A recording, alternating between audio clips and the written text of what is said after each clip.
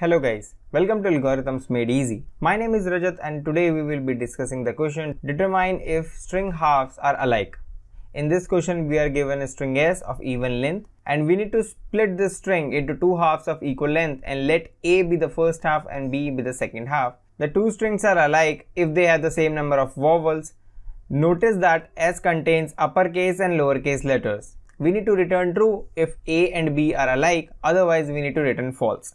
Now in the first example as we can see the first half of the string contains one vowel and so is the second half so we return true.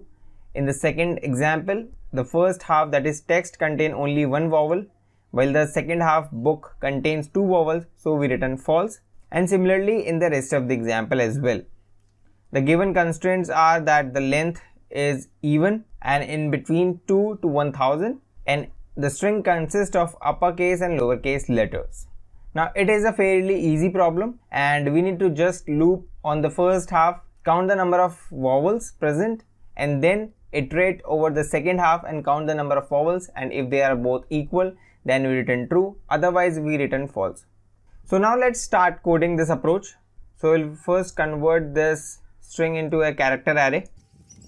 Now we can have a left pointer which will be 0 starting from the 0th index and a right pointer which will be the last index. We need to loop till the left is less than the right.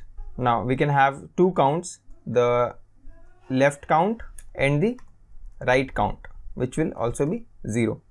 So we add in the left count when the character present at left is a vowel otherwise we add 0 and similarly for the right count wherein we add 1 when the character present at this right index is a vowel otherwise we will add 0. Now the left will be incremented and the right will be decremented.